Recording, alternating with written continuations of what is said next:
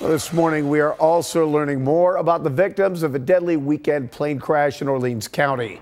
The sheriff's office there says the experimental aircraft crashed just before 6 p.m. Sunday night in the town of Yates. The two victims have now been identified as 70 year old pilot Earl Luce and 72 year old passenger Morris Wertman.